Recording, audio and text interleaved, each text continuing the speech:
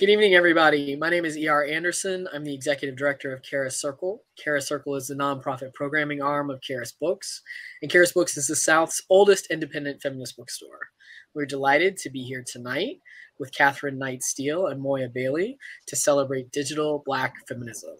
We're also joined by the Auburn Avenue Research Library on African American culture and history to help us celebrate this exciting book. Um, this is a bit of a mirror of an event we held uh, last year, and I'm really excited to get to do this. I'm glad it came to fruition despite COVID and everything else. We're really, really excited to get to be here. So I'll introduce Moya Bailey first. Uh, Moya is an associate professor in the School of Communication at Northwestern University. Her work focuses on marginalized groups' use of digital media to promote social justice, and she is interested in how race, gender, and sexuality are represented in media and medicine. She is the digital alchemist for the Octavia E. Butler Legacy Network and the board president of Allied Media Projects, a Detroit based media movement organization that supports an ever growing network of activists and organizers. She is the co author of Hashtag Activism Networks of Race and Gender Justice, as well as, and the author of Misogynoir Transformed Black Women's Digital Resistance, which came out from NYU Press in 2021. So, welcome, Moya. We're really glad you're here. Glad to be here. And the person of the hour today is Catherine Knight Steele, who is an associate professor of communication at the University of Maryland, College Park, and was the founding director of the African American Digital Humanities Initiative. She now directs the Black Communication and Technology Lab as a part of the Digital Inquiry, Speculation, Collaboration, and Optimism Network, funded by the Andrew W. Mellon Foundation. Her research focuses on race, gender, and media with a specific emphasis on African American culture and discourse in traditional and new media. She examines representations of marginalized communities in the media and how groups resist oppression and practice joy online using online technology to create spaces of community. Catherine's research on the Black blogosphere, digital discourses of resistance and joy, and digital Black feminism has been published in such journals as Social Media Plus Society, Information, Communication, and Society, and Feminist Media Studies. She is the author of Digital Black Feminism, which examines the relationship between Black women and technology as a centuries long gendered and racial project in the United States. So we are really excited. This book technically came out in October of last year, but we are celebrating it now. Turns out that was a good a good call for lots of reasons. So we're, we're glad um, and glad to have all of you watching um, with us at home tonight. So if you have questions, um, please feel free to put them in the Ask a Question tab, which is at the bottom center ish of your screen. Uh, we also love it if you shout out where you're watching from in the chat. Let us know if you know either of these folks. Feel free to say hi um, and make yourselves at home. But welcome to you both. Thanks so much for being here. Thank you so much. Catherine, it's so good to see you and be doing this. It's been so long. it's been so long. It's been so long. So I wanted to start with just uh, a land acknowledgement, given that we are again in this digital world that is so strange and um, I am joining you all from the traditional unceded homeland of the Council of the Three Fires, the Ojibwe, Ottawa, and Potawatomi nations.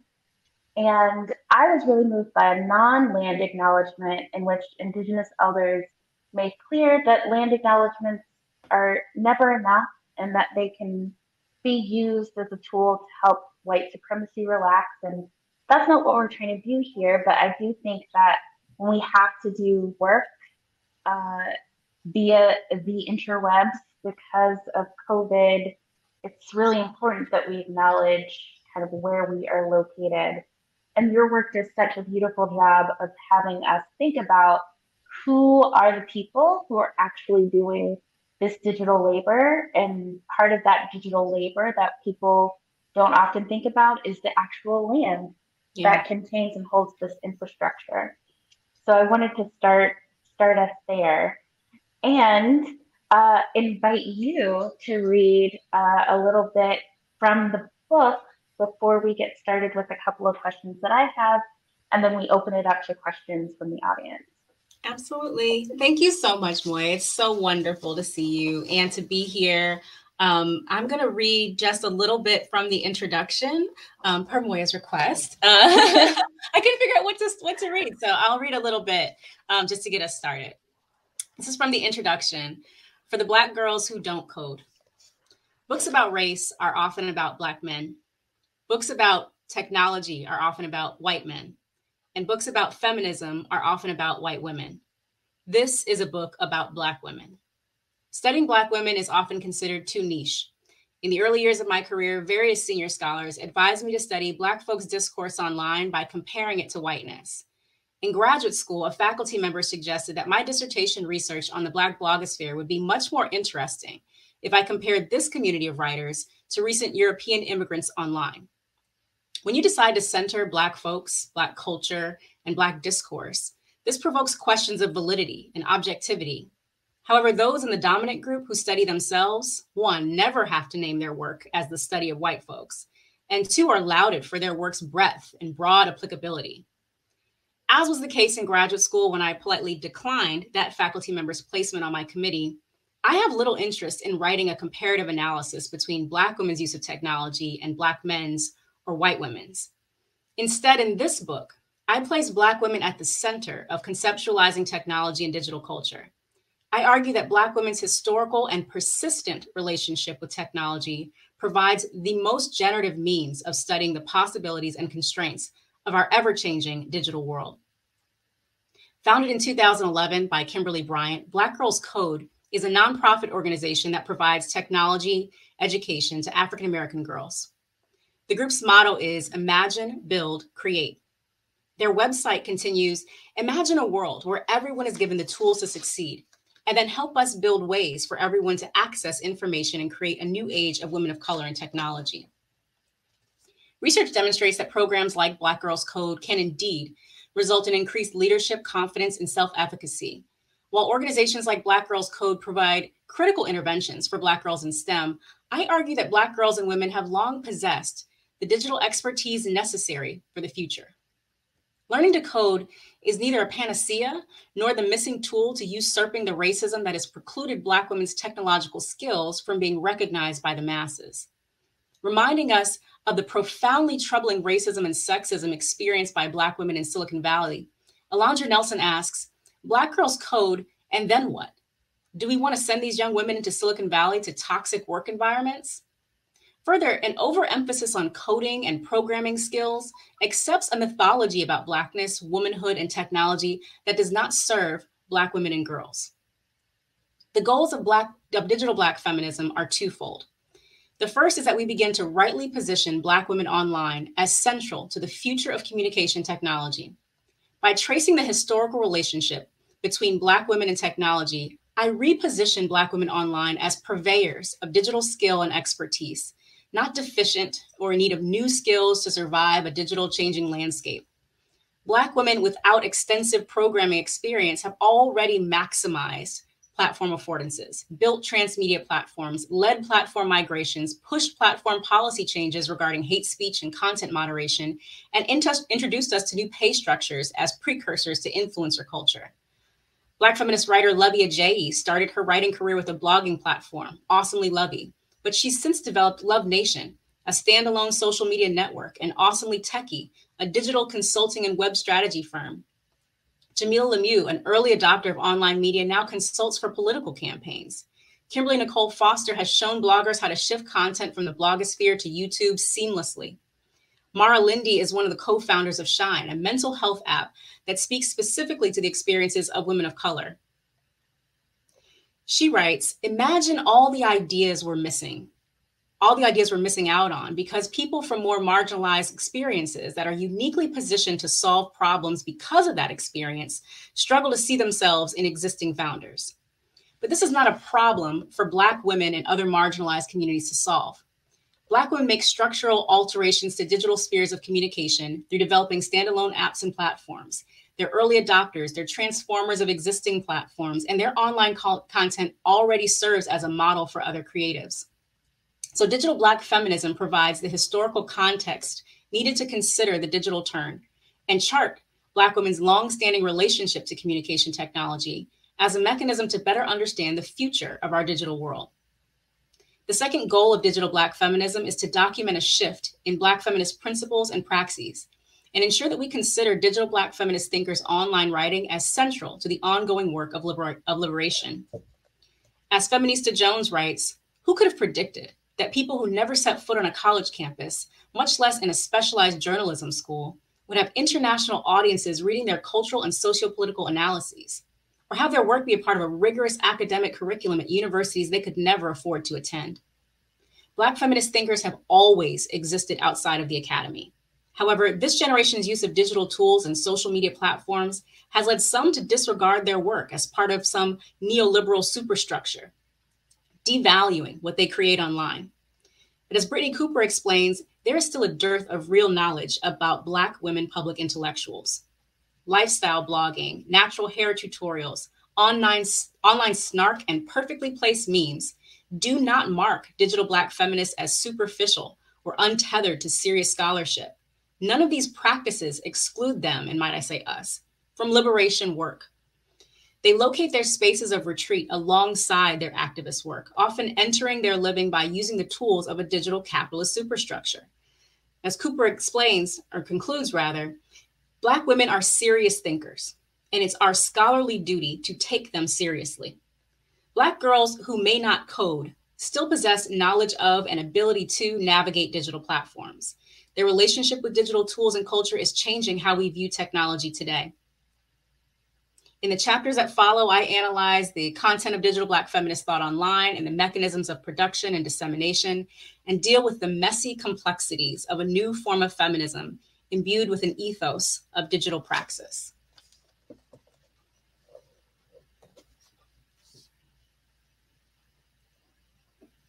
I love that. Thank you so much for reading that. Um, and there are so many words that resonate with me, but one thing that I want to maybe start us with is the way that you talk about Black women being one, on the one hand, talking about their very specific experience, but that experience also speaking to the universal.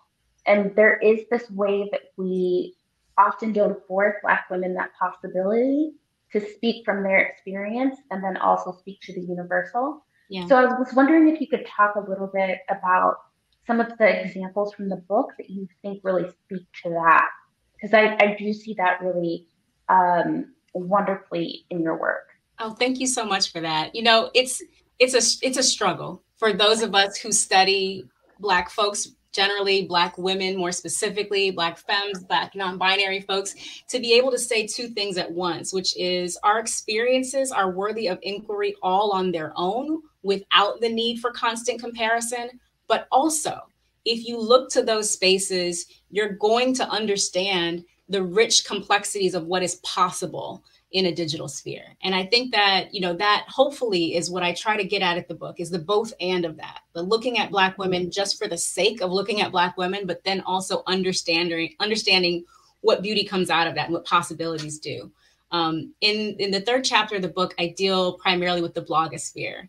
And i talk about black women bloggers in the early 2000s leading up to like the 2010s and how that era of blogging is so underwritten about as it relates to black folks online.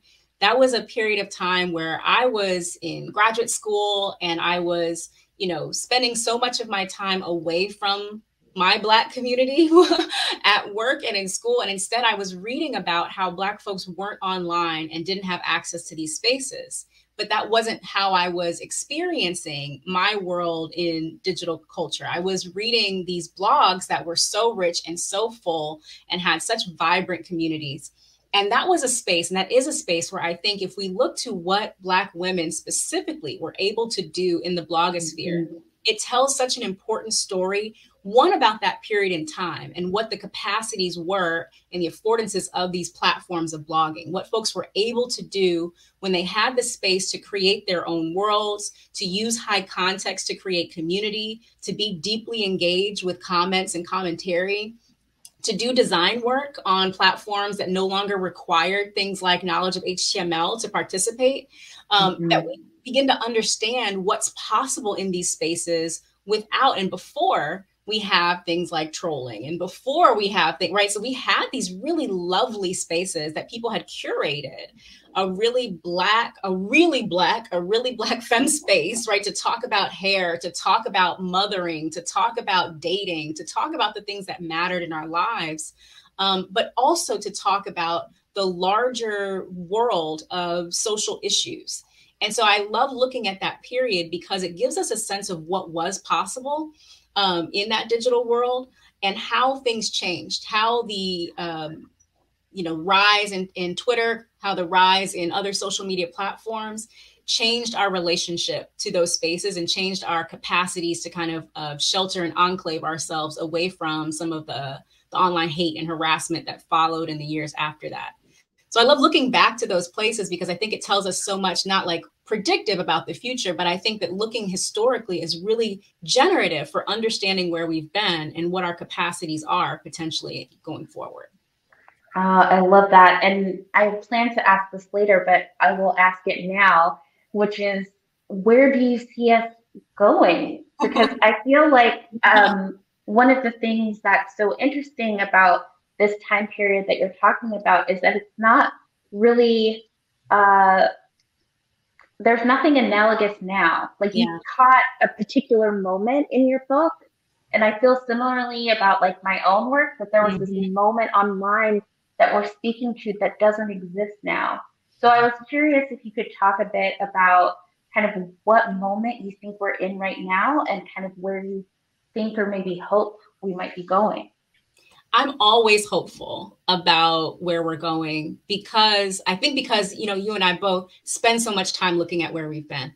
And so it call, it gives me so much great hope about possibilities even when my capacities don't exist to be to predict what they look like because I wouldn't have seen most of what was coming, right? Like I wouldn't mm-hmm. have understood the way that Black folks are so creative and so inventive and so resourceful and so filled with joy in moments where we're expected not to be, right? And so I'm very hopeful about what that means about our mediated and digitized lives going forward, about our ability to, to utilize that history and that legacy and that knowledge to kind of do really creative things.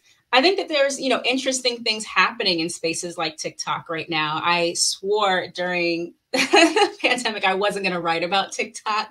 And of course, I've already broken that and written to it can, I, feel, I, I relate. I relate. Over your life, they're like, well, I'm, I'm on here all the time anyway. I might as well write about this a little bit. But um, I think where we're going and what I've, I've been starting to write about a little bit more is like the reclamation of pleasure as like the end game, right? Like not as like a, a an aside or an addition thing, but like if we focus on like Black women's expressed desire for and fight for their own pleasure, I think that that is a really interesting space to think about that and how it's going to connect with the possibilities of these new platforms. So, what are Black women doing when we take away the the, the monetized like uh, influencer? I mean, it, it exists, right? Obviously, right. so much of our digital culture is about branding, and, and I write about that in the book, right? That kind of shift to branded content and influencer content exists.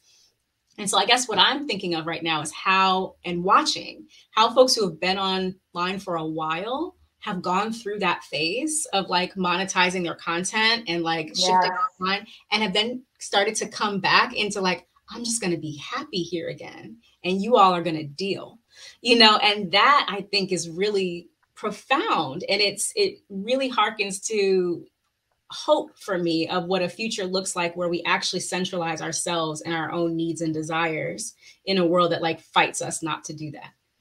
Oh, I love that so much. And I think one of the real beauties too of your work is that uh, line that you have because you have been there since kind of those early platforms and you can see kind of the shift over time, which I think makes it so much more um, rich in terms of the storytelling.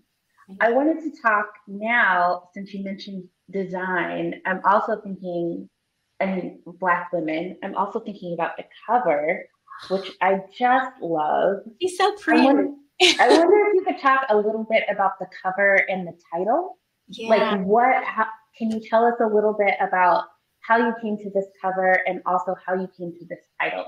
Yeah. So this cover is um, from the work of Lavett Ballard, who is a brilliant, brilliant mixed media artist. Um, I saw a show of hers in Philadelphia a few years ago when I was there for a conference and was just obsessed with her work.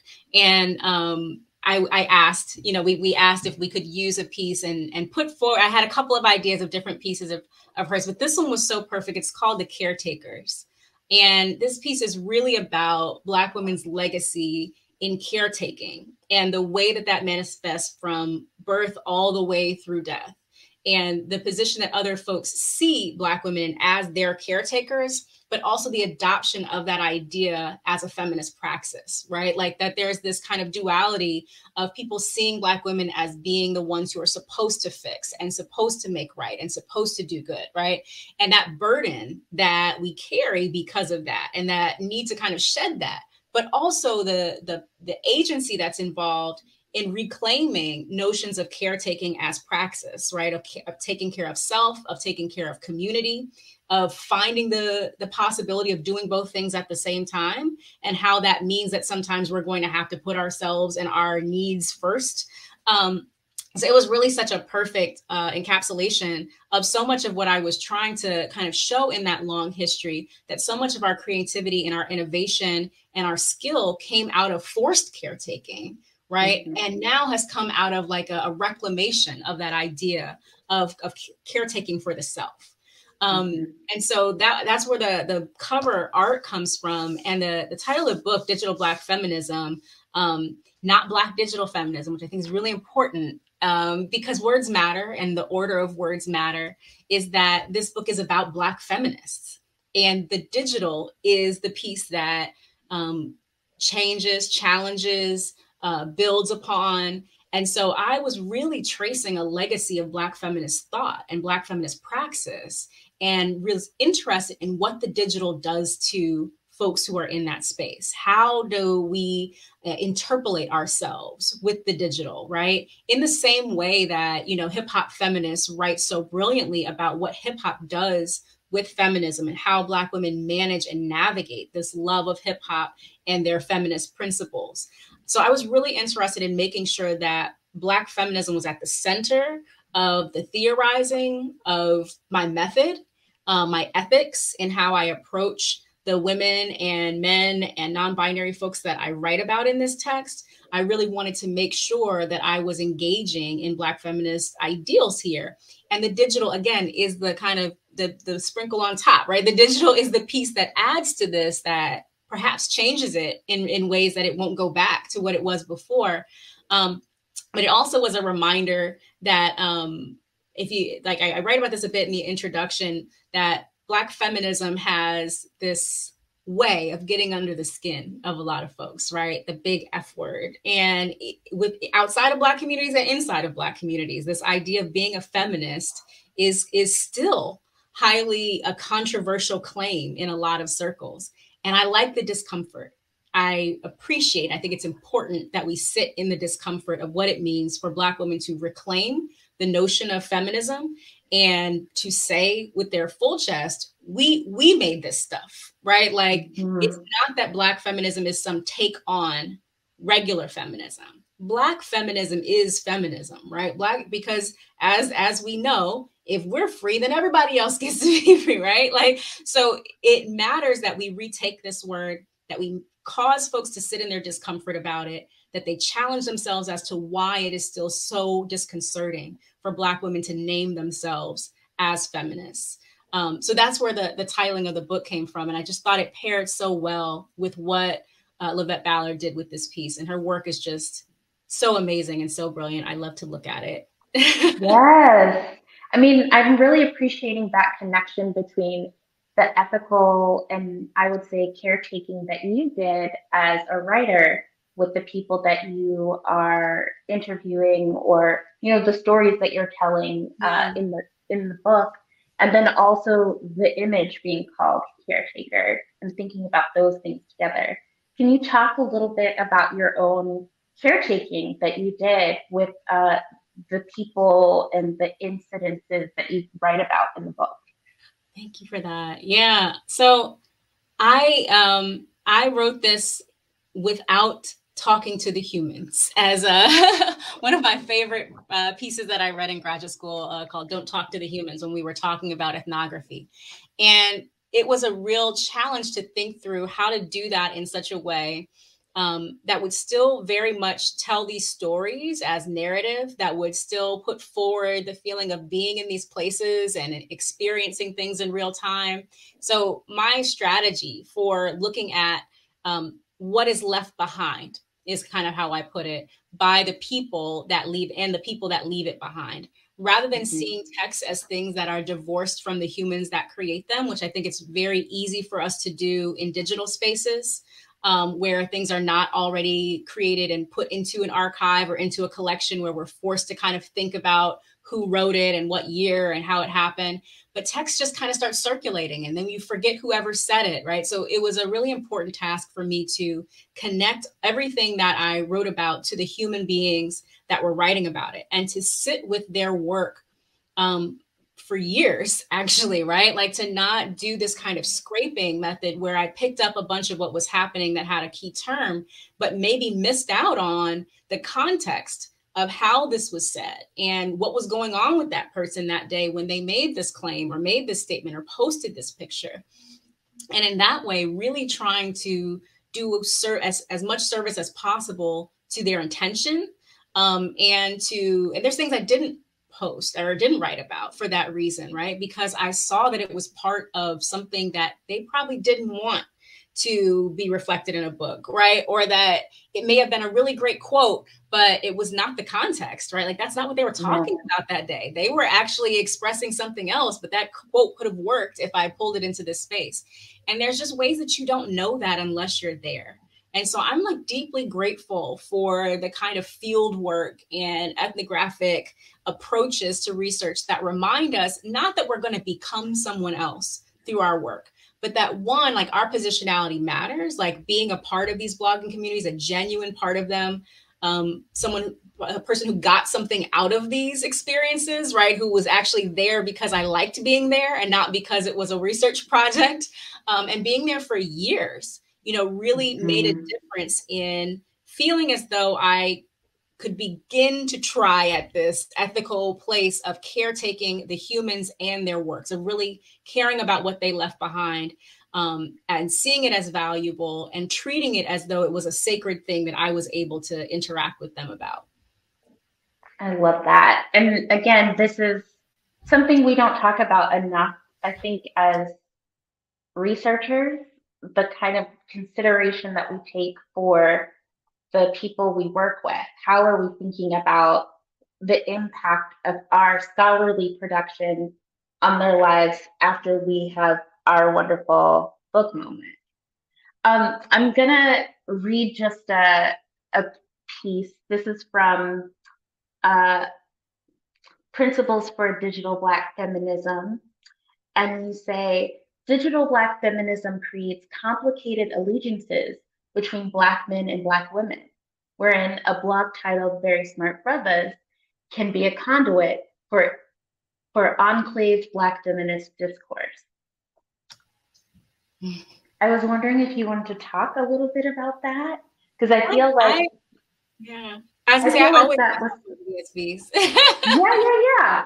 I feel like that's such a. I think that's an important part of what your work does. Is it shows people where there's black feminist content where they might not be not expect it yeah i'm so i'm i'm literally always happy to talk about vsbs because it, it was my favorite blog. Uh, and and Damon and panama have been so gracious throughout this you know writing process and experience.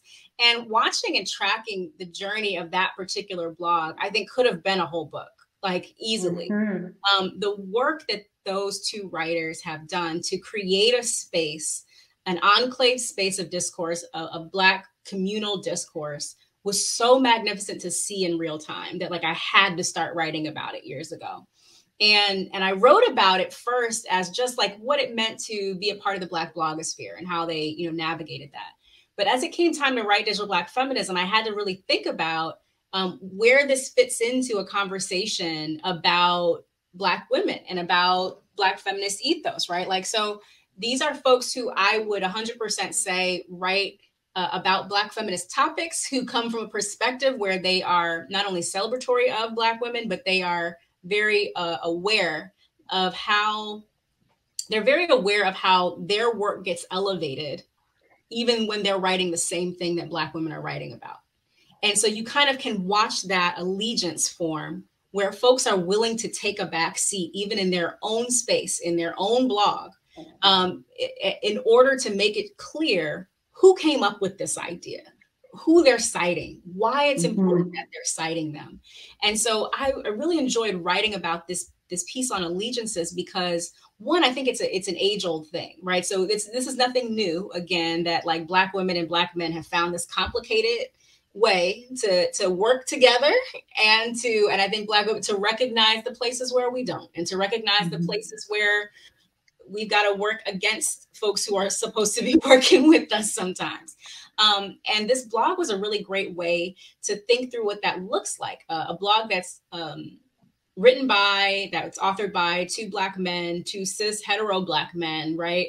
Um, who then challenge themselves more and more and more over the years mm-hmm. to develop um, one spaces to incorporate the actual voices of other folks right but also challenge their own perspectives um, write about what it looks like to challenge themselves write about what it looks like to be wrong and to sit in the discomfort of that um, and i also really appreciated writing about that complicated allegiances with Very Smart Brothas because that blog also gave us a really great window into what it looks like when black discursive practice gets taken up by the mainstream what happens when it becomes profitable to be writing about Black folks online. And we mm-hmm. watched this go from a very small blog to something that gets, you know, uh, bought by the root, right? And what it means to have something taken under that umbrella and the kind of space that that opens up from a what was a small enclave community into now a space where we're getting the same kind of vitriol and hatred that every other black writer is getting when they're publishing in mainstream sources. So it's this duality, right? Of like this allegiance that they make with black women, but also that they make with this larger media network. And mm-hmm. give and take that happens there, the places of overlap and the places where that allegiance can cause harm, can cause real harm to that community of, of readers, to them as writers and, and as human beings as well. So I mean, I, I often joke like they're the only men I write about in the book. Those are some of my favorites. Um, so I really yeah. um, always look to them as a, a, guidepost. And I think what's happened with their careers has just been indicative of, of what they've done intentionally to create that kind of space. And it's just taken their careers off in really great ways. Yes. And what I appreciate too about what you track here and even what you're just saying is that this was the evolution. Things changed over time. So I'm I'm curious too about what you think time is doing. Like, um, not that it's it's clear that you're talking about it, but it's not linear in like a progressive sense, right? right like there's right.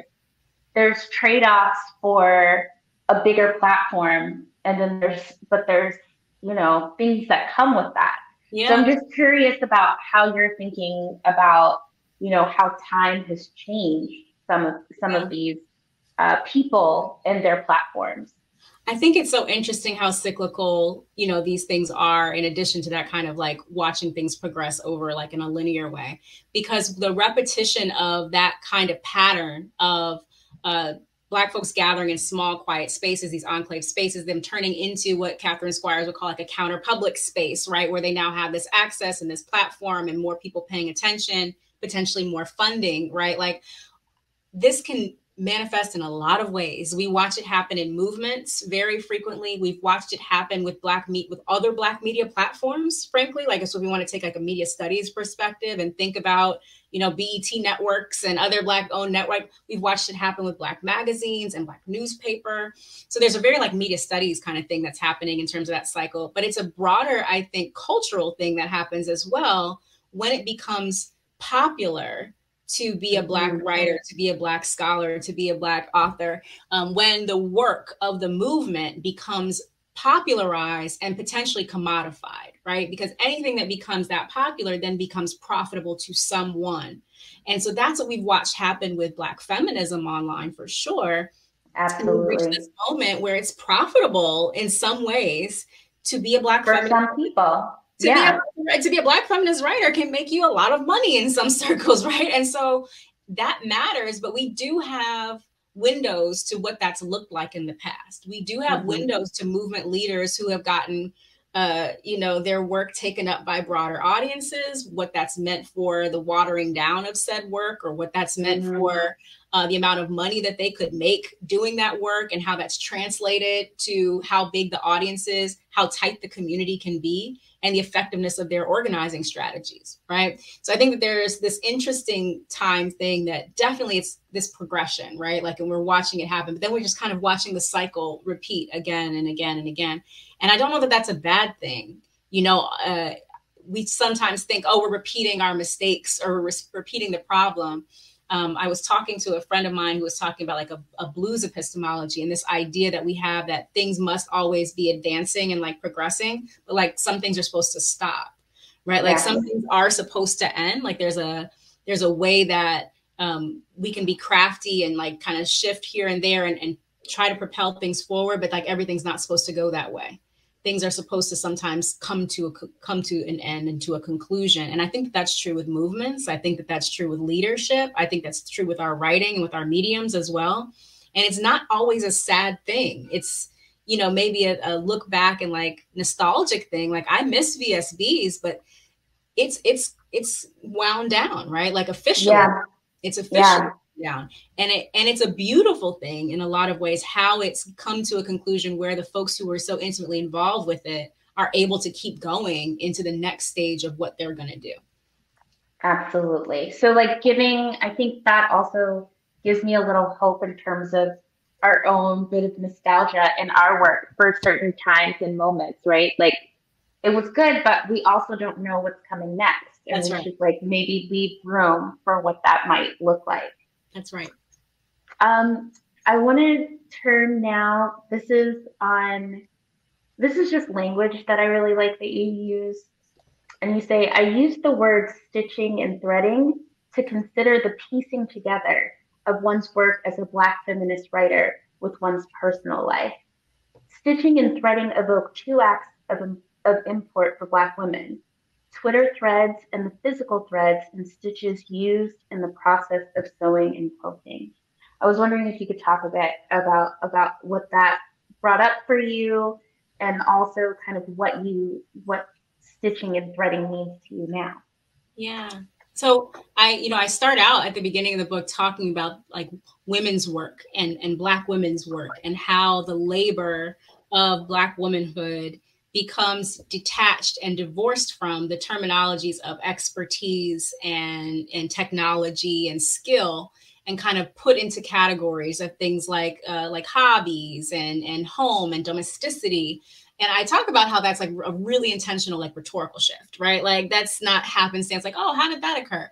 Very Mhm. intentionally that happens, right? Yeah. And so toward the end of the book, then I, I try to bring that back and thinking about um, how the the work that is done by women in, in lots of areas of life um, has this important quality, not only of what it provides to other people, what we actually create, you know. So stitching and threading is this thing that is a, a tool of making something, of making a blanket, of making a quilt, right? Of, of creating something that provides comfort and care for someone else. But that sometimes in that process of, of talking about the quilting and the weaving, we don't actually think about the skill set that's necessary, the, the actual activity, the praxis of the thing. And so I, I use those terms stitching and threading in that chapter on praxis, just like using publishing or capturing to really sit in the activity rather than in the product of it. Because sometimes we think of folks as only being as good as what they provide to us, right? Like they're provide black women are great in so much as they're a key voting population and they and they hand us this election. Or black women are great in so much as they provide us this service, this good. They created this thing that we really like, this aesthetic. Um, but what about the activity? What is it like to be a person involved in the action of stitching and threading? And what does that do for the person who's doing it? And what does that do? You know, uh, how does that change the relationship that the person has with the tools and the actual physical things that they're touching and holding? So in that part I, of the of the text, I, I talk about Ida B. Wells, Barnett, and I talk about the life of stitching and threading together one's personal and very public uh, kind of mobilization efforts, right? And what it means to kind of have to uh, put yourself out of the picture, to take away pieces of yourself, or to recognize that if I stitch this in, if I am my full self, that my work won't be taken seriously. And it was a part of the book where I was uh, really happy to see digital black feminists who who are refusing that, right? Refusing this idea that I can't be a very full version of myself publicly and be an activist right? Like that I will be a parent or I will be um, into BDSM or whatever it is. Like I'm gonna do me and I'm going to be an activist. And I have to stitch those pieces of myself together because it makes me better at this thing that you want me to do, right? Or it's the only way I get fulfillment myself out of doing this thing that you want me to do. And I think we really see that in the work of um, Jamilah Lemieux, for example, who writes herself into these documents, these really well researched, really well articulated documents, um, for example, about the R. Kelly, um, you know, uh, scandal, but writes about herself and her own experience in the city of Chicago into that. Um, in ways that Ida B. Wells refuses to do, right? Refuses to say that I'm going to write myself into this because you won't take me seriously. I'm going to write this as a journalist.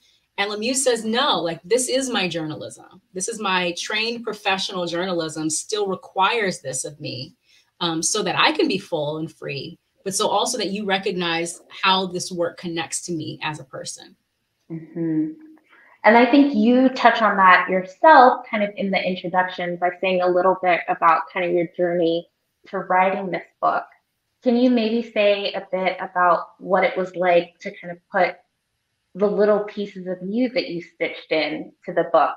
Were, did that make you uh, nervous, or how did you feel about that as a a black woman in the academy, sort of writing writing your truth and your understanding of this work? Well, I'm really glad I didn't get this book done when I was supposed to. I think because I don't know that it would look the way that it does.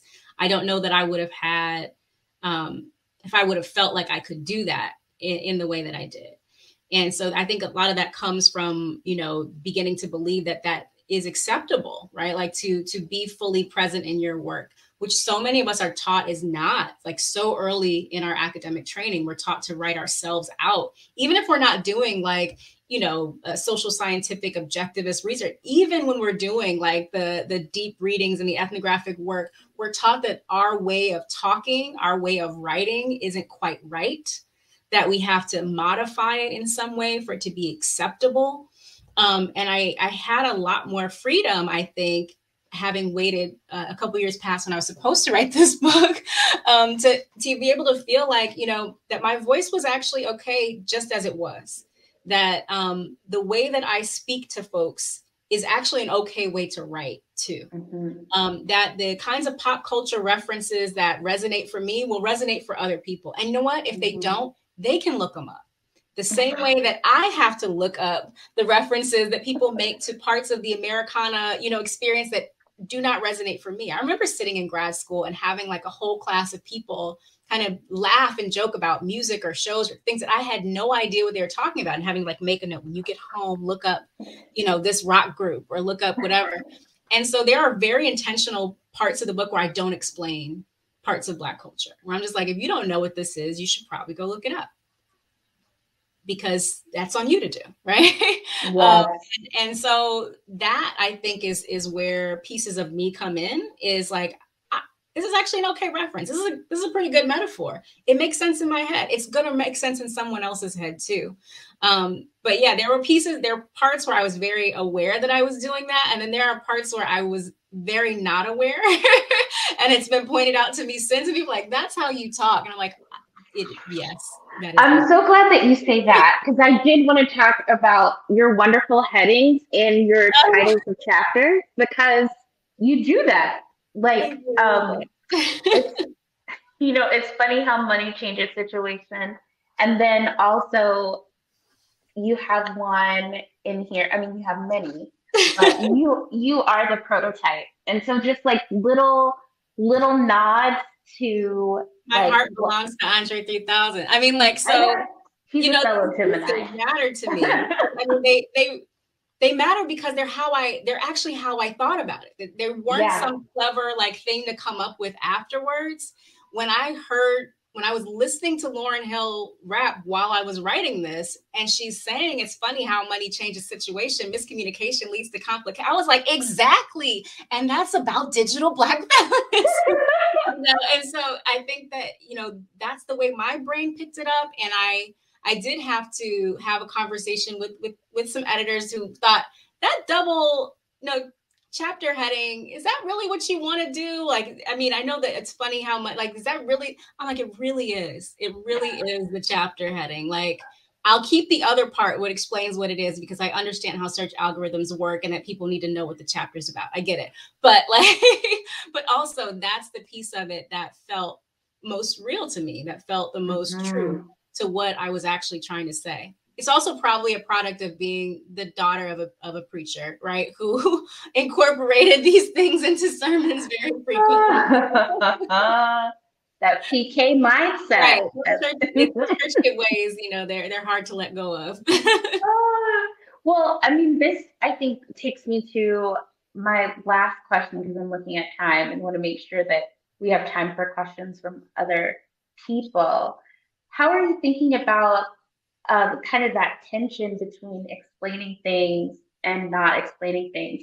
And we've talked about this very briefly, but just, you know, there's a way that the digital makes so much of our intimate culture very public in ways that really makes me anxious and nervous and I don't like it. Yeah. And then there are some things about it that are really beautiful. And like I love the way that like young black people are using TikTok to share kind of these intimate things that really resonate with us for people who grew up in spaces with black folks um, that are just so powerful.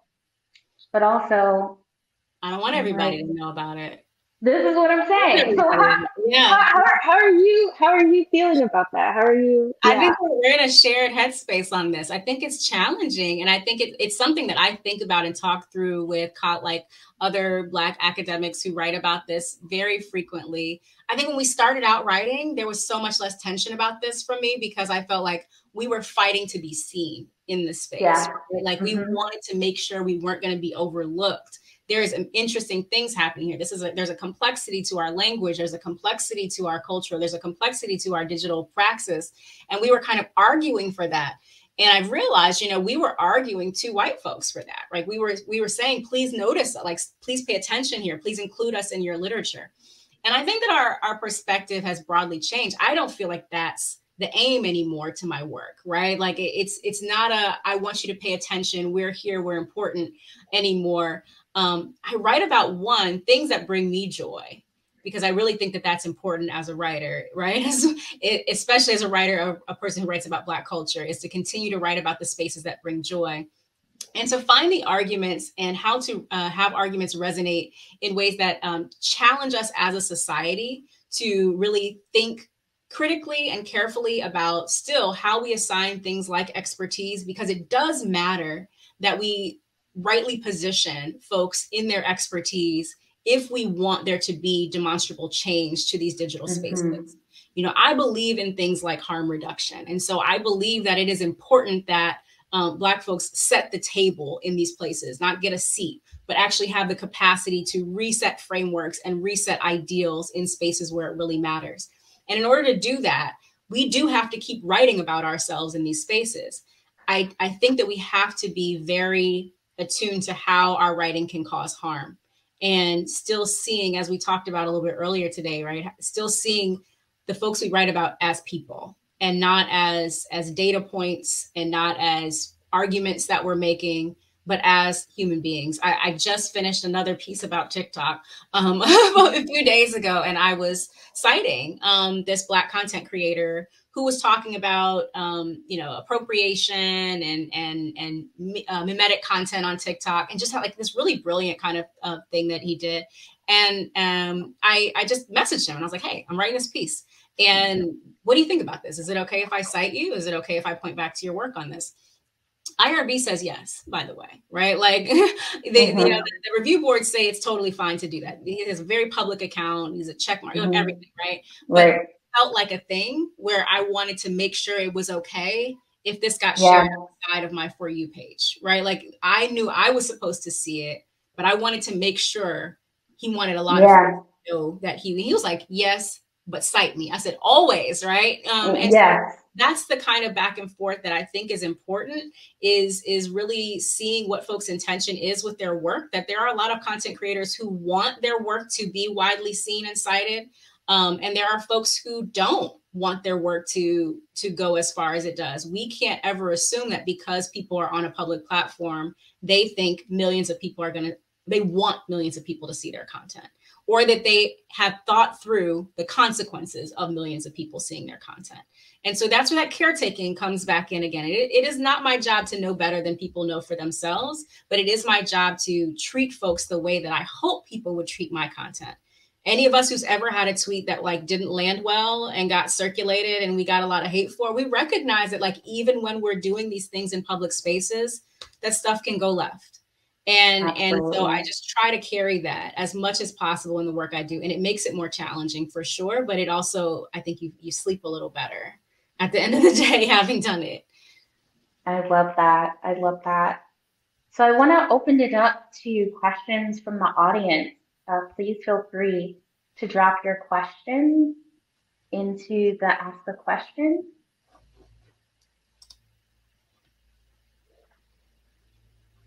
and let us know what's on your mind. Oh, I see folks I know in the chat. Hi. oh, we got a question. Your work is so wonderful for emerging scholars and writers. I wonder if you have any advice for grad students who are simultaneously trying to find their voice and do solid work that shakes the table and isn't concerned with gaining white recognition? That's a great question. Um, yeah, I mean, so the first thing is to just keep writing, like to keep writing and keep writing and keep writing, because I think finding your voice in your writing, for me, takes a long. It took a long time, and so even when I was at a stage where I felt like I was doing good work, when I look back at some of the things that I was writing, then I I kind of cringe a little that things things that get heavily cited, and I think I wasn't that wasn't a true voice from me. Like that was me like trying to get into that particular journal to do that particular thing. And I think, fortunately, I think, and it is a privilege, and I recognize it as such, is that sometimes now I get to just write and see if anybody wants to publish it and not actually care as much. Like you know um, and there is a there's a privilege that's associated with that. And so my advice to graduate students is to just keep writing to read a lot of work that is outside of your disciplinary home so that you are not trying to reinvent the wheel or feel as though you have to start from scratch in your work and mm-hmm. instead, you can begin to ask the questions that you actually care about. Because I think a lot of the validating and the need for validation that we have comes from feeling like no one else has done this before. So I have to position this as brand new and whatever. And I think it's much more interesting to do the building work.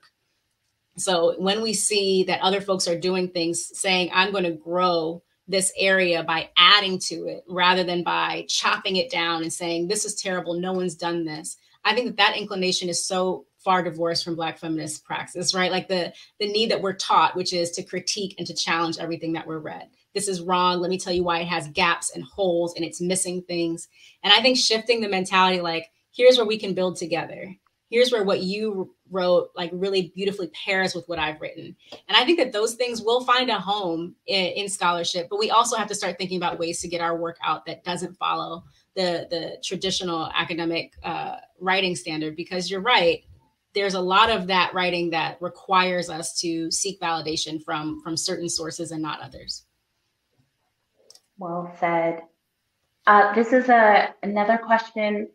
You are ethnographers and academics. Do you have any spaces where you boost connections and community gathering among us non-academics who are reading this book? Oh okay. So like actual spaces you know, follow us on Twitter because most of what I talk about there is not academic. Uh, um, and and I think that we build like really brilliant community that is both folks who are in the academy and folks who are just interested in the work. Um, public scholars, public writers, you know, there's a wonderful kind of, of back and forth that, that still happens on Twitter. Not it's not like it used to be, but can still happen there.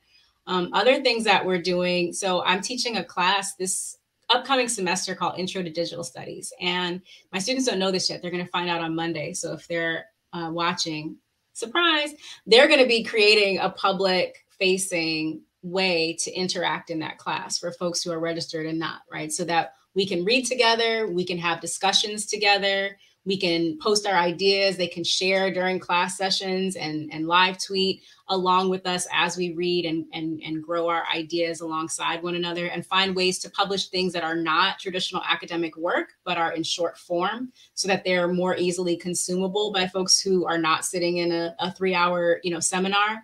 And so i think those are the kinds of things that i hope we do more of. I would love to hear you answer that too moya.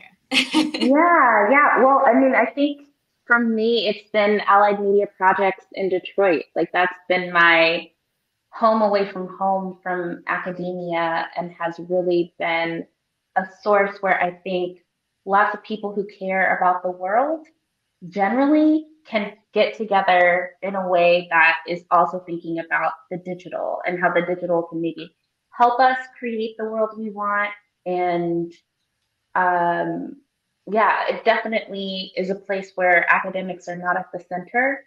And there's an understanding that academics are not the ones who are going to save us, right. uh, which I think is an important thing to say. Academics do good work, but that's that's not necessarily all of the work. Or right.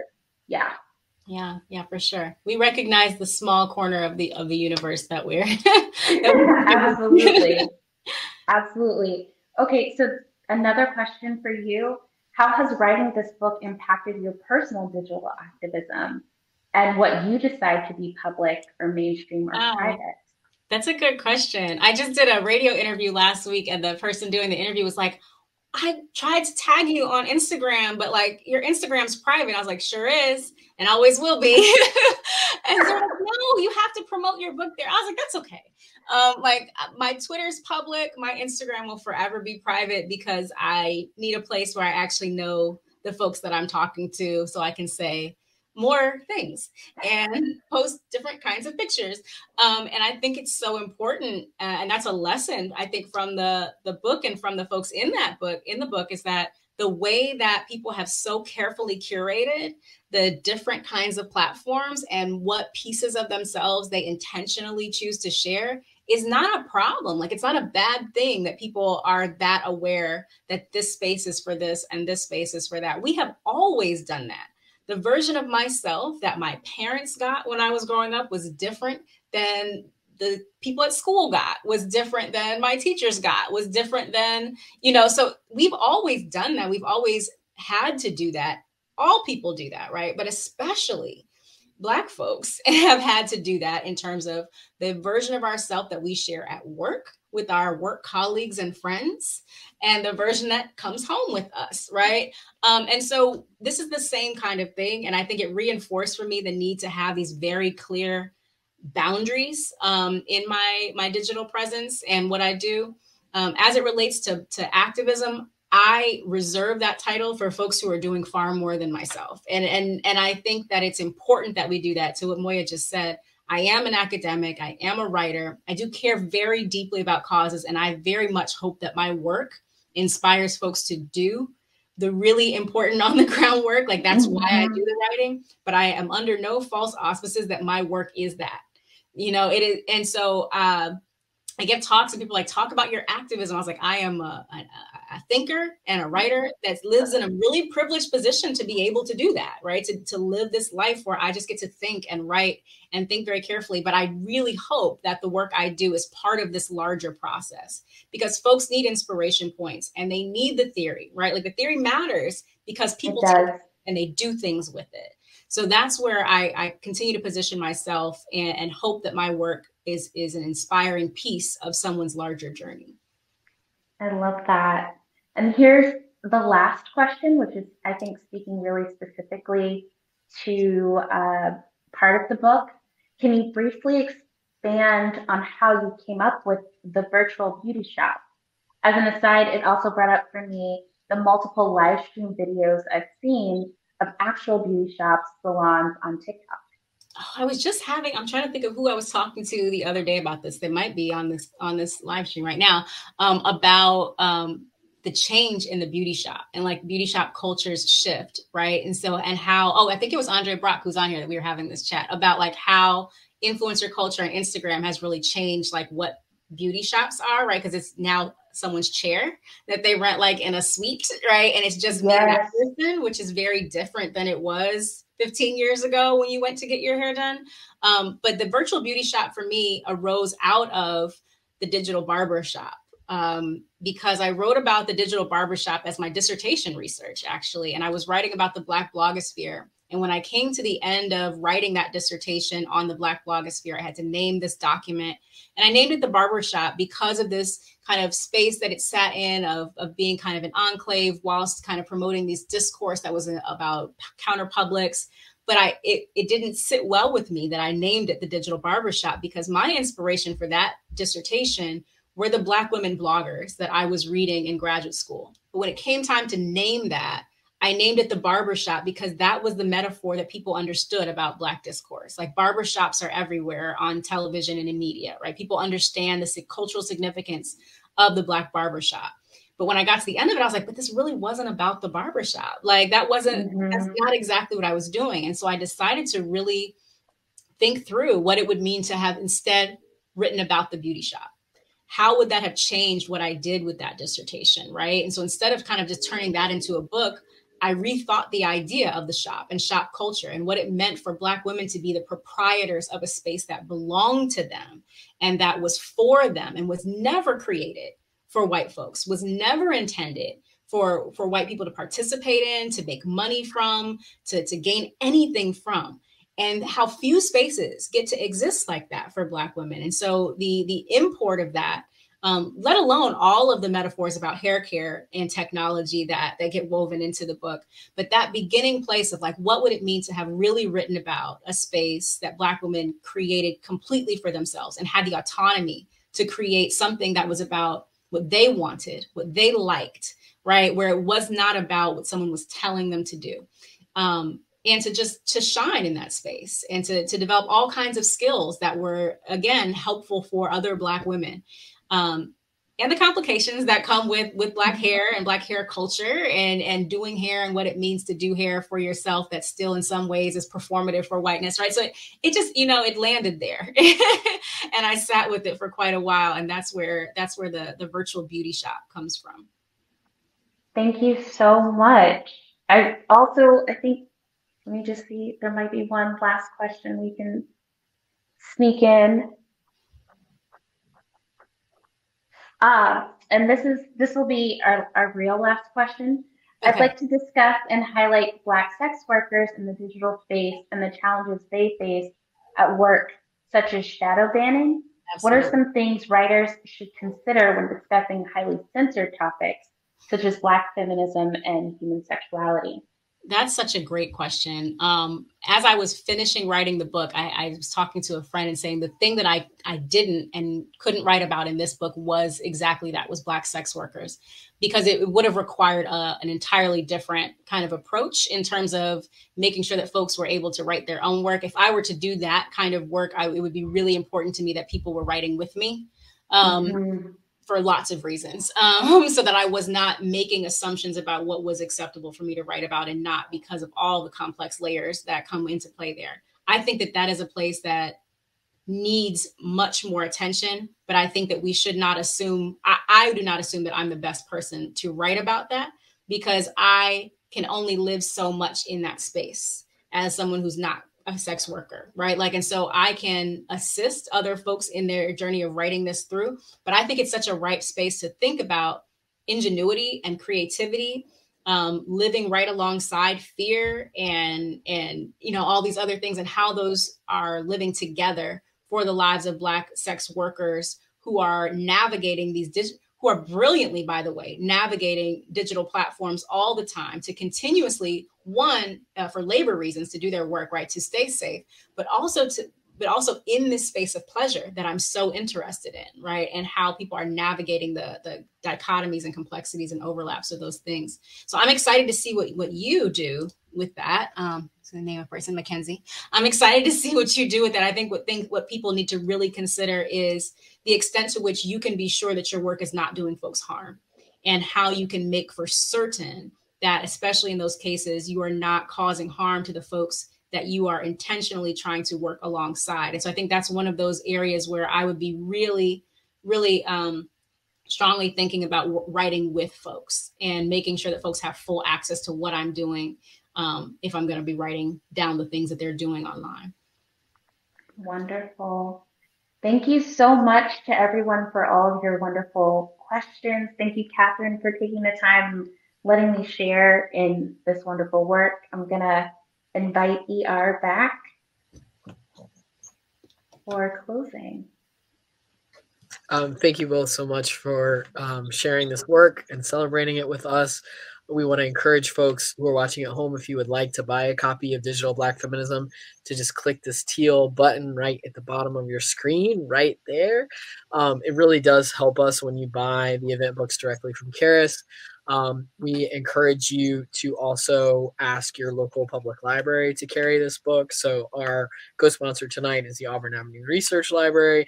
But any library in your area, um, let them know that you would like it. And also, obviously, if you're affiliated with a, a academic institution, let them know because that's a big part of getting the word out is making sure that librarians know there's a demand um, for the book because we want it to be a big success. We want it to go far, and we want it to be canon. So um, let's let's get it in all those places. So um, thanks to everybody watching at home. Thanks to Auburn Avenue as always for holding it down in the chat and um, in general with us.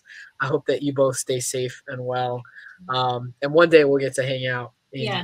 in physical space again. But um, until then, it's uh, it's been great to celebrate both of your books in the last year. So thank you. Thank you. Thank, thank you. you. That was wonderful. Good night. Good night, everyone.